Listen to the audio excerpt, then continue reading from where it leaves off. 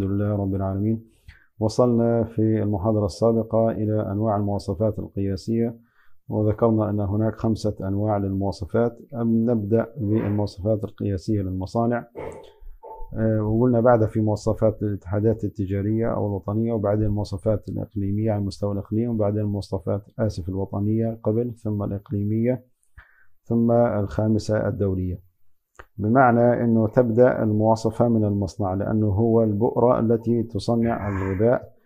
آه، آه، عادة يقوم آه، أصحاب المصنع بوضع سياسة للجودة ومن هذه السياسة أنه يضع نصب عينيه أنه ينتج منتج مطابق للمواصفة. هذه المواصفة يسترشد فيها المصنع في عمليات الشراء والبيع والإنتاج. كيف يتم إعداد المواصفة؟ إن شاء الله حنتعرف من خلال هذه المحاضرة.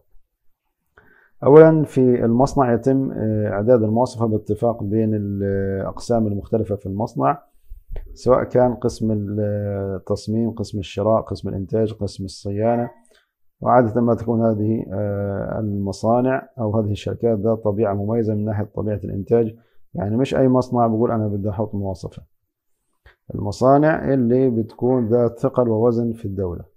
ثانيا المواصفات القياسية للاتحادات التجارية.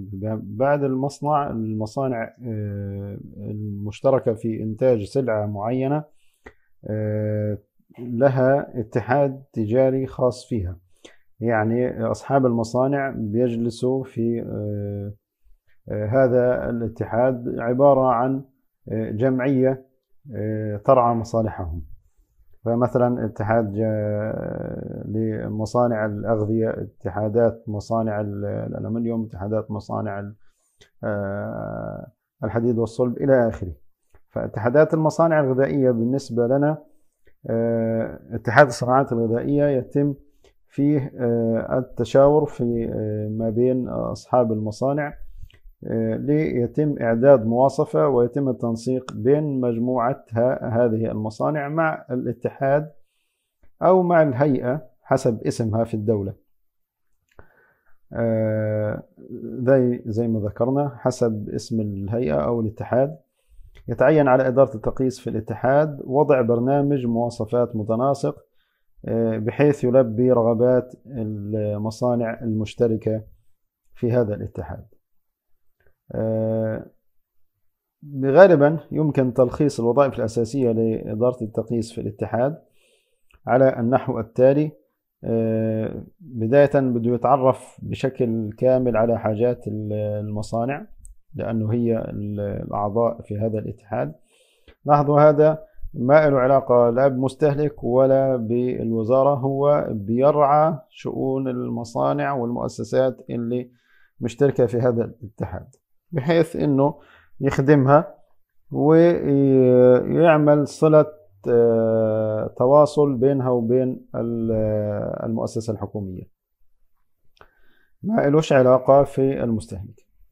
إذا آه، وظيفته تعرف على حاجة المؤسسات والشركات اختيار أنسب المواصفات الخارجية وإعداد مواصفة الاتحاد منها.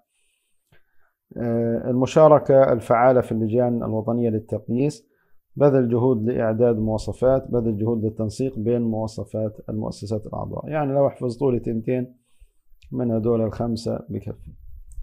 آه إن شاء الله في التسجيل التالي أو خلينا نعمل هذا بالمرة المواصفات القياسية الوطنية.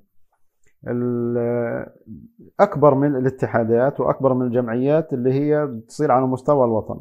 ف هذه الاتحادات تعتبر يعني منظمات غير حكومية. الآن بدها تتقدم بطلب آه، وضع المواصفة للمؤسسة الوطنية أو القومية. المؤسسة الوطنية اللي هي غالبا بتكون وزارية حكومية تصدر آه، آه، عندهم حسب الوزارة المسؤولة عن وضع المواصفات. تكون مسؤولة عن التوحيد القياسي في الدولة. مثلا في إنجلترا تتركز هذه السلطة في عندهم حاجة اسمها الهيئة البريطانية للمواصفات القياسية BSI. في أمريكا عندهم حاجة اسمها ال AFDA. FDA حنسمع عنها كتير اللي هي هيئة الغذاء والدواء الأمريكية ونضاف إلها A اللي إيه؟ American Food and Drug Administration. يعني لو أنا يعني عشان ما أغلبكوش نحذف ال A هذه. خلاص ال FDA مشهورة. وفي بريطانيا ال BSI في مصر في عندهم الهيئة المصرية للتوحيد القياسي وجودة الإنتاج. في فلسطين عندنا هيئة المواصفات والمقاييس الفلسطينية. هناخدها إن شاء الله. إيش شغلة هذه المؤسسة؟ سواء كانت هيئة المواصفات والمقاييس إن شاء الله في التسجيل التالي بنتكلم عن المواصفات الإقليمية.